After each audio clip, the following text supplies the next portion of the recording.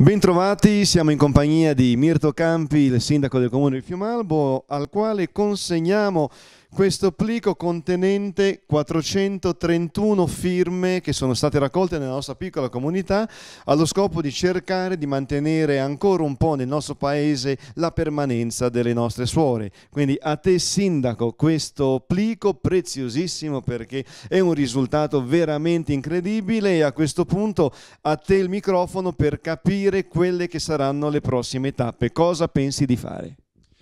Dio, intanto Diego, grazie perché ti sei fatto promotore di questa importante manifestazione. manifestazione. È un plebiscito popolare qua, insomma. Siamo restato l'unico comune con ancora le suore e quindi per noi è un valore aggiunto. Cercheremo in qualche maniera di, di, di così a, a botta calda sto pensando magari di andare veramente nella casa madre delle serve di Maria di Galeazza, consegnarglielo direttamente di mano, magari visto che sei stato il promotore, se facciamo anche il viaggio insieme non mi dispiacerebbe, ne approfitto.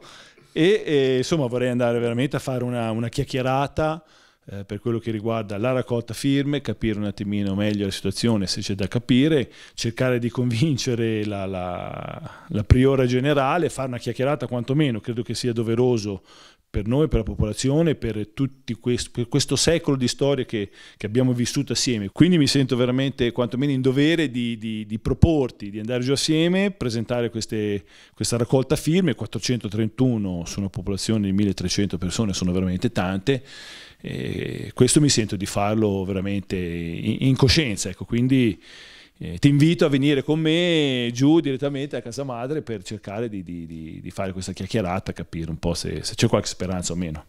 Ma eh, che dire, mi cogli piacevolmente di sorpresa, nel senso che non pretendevo di meglio, io pensavo ad un invio eh, per posta con una tua lettera, invece addirittura mi dici andiamo giù, faremo il viaggio assieme, raccolgo il tuo invito, sarà veramente una cosa estremamente piacevole, quindi faremo il viaggio, anzi a questo punto avranno anche modo di vederlo, perché lo sai che se io viaggio e faccio non posso non avere con me una telecamera, quindi vedremo un po', quindi benissimo, raccolgo l'invito e quindi nulla a questo punto punto è solamente un'ulteriore piccola tesa. Sospendiamoci qui, incrociamo le dita e vediamo, ce la metteremo tutta. Grazie. Arrivederci. Quindi vi faremo sapere. Grazie. Vi faremo sapere. Grazie.